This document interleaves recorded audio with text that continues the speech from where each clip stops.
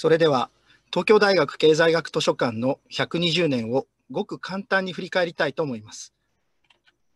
東京大学経済学図書館の延源は1900年のエンゲル文庫の購入にまで遡ります。エンゲル文庫はエンゲル係数で知られる統計学者エルンスト・エンゲルの急増書1万4000冊余りからなり、ドイツ留学中であった高野岩三郎の尽力により購入が決定しました。これにより、東京帝国大学法科大学内に経済統計研究室が設置され、図書の管理も行うようになったのです。近代以降の学術活動の源泉となったのは、明治維新以降に欧米から輸入された膨大な知識であり、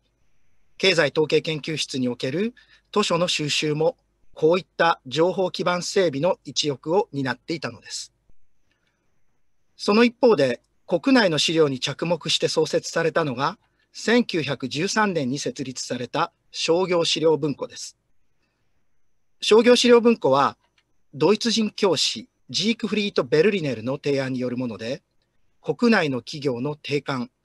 営業報告書などを収集し、企業経済の実証的研究を促すことを目的としていました。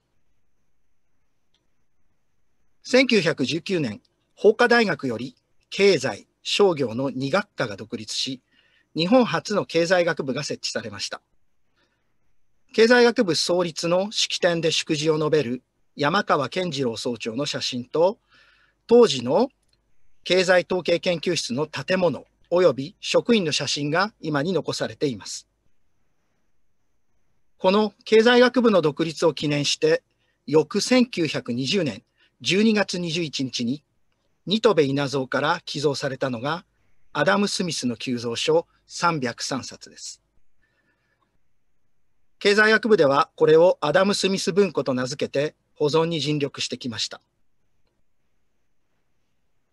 さて、その後の図書館の変遷を見てみましょう。経済統計研究室は1923年に経済学部研究室となります。研究室の図書部門は閲覧室、図書室などと呼ばれていたようです。その後、経済学部図書室となり、1982年には経済学部図書館に改められます。一方の商業資料文庫は、1939年に業務を拡張して経済学部資料室となり、企業資料に加えて統計や白書などの官庁及び経済団体などの観光物を幅広く収集するようになります。第二次大戦が終わり、高度経済成長に向かう中、官庁や経済団体などの観光物の収集に重きを置き、経済学部資料室が改めて設置されます。こういった図書館と資料室の関係が大きく変容するのは2009年から2010年にかけてです。2009年に資料室と古文書を扱う文書室、日本経済史の一次資料を扱う経済資料分析室が合併して、いわば第3代目の経済学部資料室が誕生します。さらに2010年には図書館の名称が東京大学経済学図書館と改められます。現在の東京大学経済学図書館は図書館機能を中心とする経済学図書館と、アーカイブ機能を基盤に置いた経済学部資料室という2部門からなっており、赤門総合研究棟と学術交流棟の2つの建物に分かれて機能しています。経済統計研究室と商業資料文庫の時代と比べて、随分と業務は様変わりし、蔵書量もエンゲル文庫の1万4000冊から始まり、120年の時を経て約83万冊にまでなりました。しかし、2部門をもって経済学研究の両輪とする図書館の姿は、経済統計研究室と商業資料文庫の伝統を踏まえているのです。東京大学経済学図書館の120年は、決して平坦な道のりではありませんでした。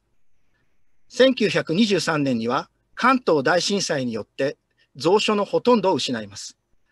アダム・スミス文庫は救済できたもの、エンゲル文庫は9割以上を消失してしまいました。